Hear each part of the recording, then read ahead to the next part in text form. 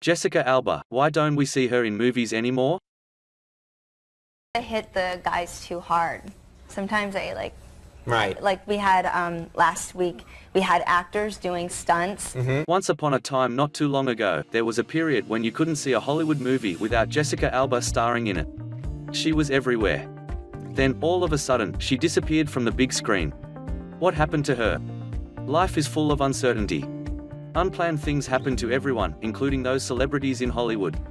Let's discover what exactly happened to Alba and how she overcame obstacles from her troubled past. Jessica Alba was born in California. Her father was a Mexican American who worked as a cook, and her mother was a bartender.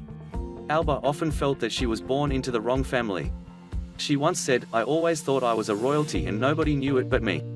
This attitude may have given her the strength to overcome the biggest obstacles in her life. From a young age, Jessica was a rebellious girl. When she was five, she told everyone that she wanted to be an actress. Nobody took her seriously. But she was on a mission to prove them wrong. Alba was raised by a religious Christian family with many strict house rules. So, while growing up, Jessica was always dressing modestly. However, because of her good look, she just couldn't escape attention from men, mostly older ones, which made her feel scared and uncomfortable. When she was 11, her parents decided to support her with her ambition, starting with acting classes. And nine months later, she was signed by a talent agent. At the age of 13, Jessica had her first film role in Camp Nowhere. It was not a big hit, but Jessica began to be noticed. She was offered jobs in modeling and commercials. Strange things started happening to Jessica when she was hired to act in the television series Flipper, which was filmed in Australia. A man she didn't know was calling her every day. At first, she thought it was just a fan, and there was nothing to worry about. The strange calls kept coming and she continued to ignore them.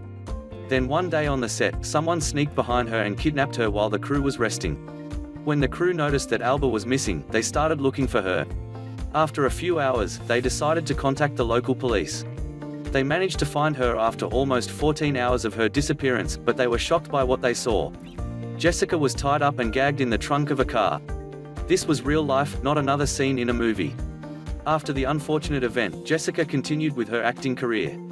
Jessica rose to prominence at 19 as the lead actress of the television series Dark Angel, in which she received a Golden Globe nomination. Dark Angel not only brought her fame, but also her first love. Jessica was romantically involved with her co-star, Michael Weatherly. Although Michael was 12 years older and her parents were against that relationship, they decided to get married. The marriage lasted only two years. In 2004, Alba hit another career milestone by playing the Invisible Woman in Fantastic Four.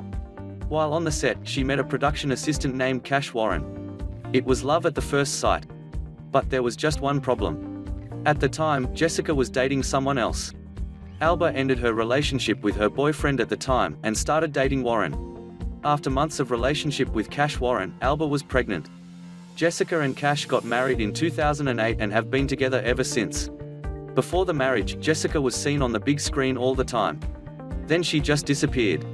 Jessica told everyone that she is not taking the movie industry seriously anymore. In 2009, Jessica transformed herself into a businesswoman. Alba cares deeply about the environment. Therefore, she decided to launch a different baby and body non-toxic products. The company is named The Honest Company. So far, the company is a success. Alba wrote a book about her experience as an entrepreneur. And to her amazement, it turned out to be another success. The book titled The Honest Life was published in 2013. It was number 8 on the New York Times bestseller list. This project wasn't her last success. Jessica is also involved in numerous charity organizations. She is so busy without Hollywood, and she seems to love her new roles more than being a movie star. Nevertheless, there is one more reason why she took a step back from the movie industry. Only people close to her knew this reason. Nowadays, family life is the most important thing to her.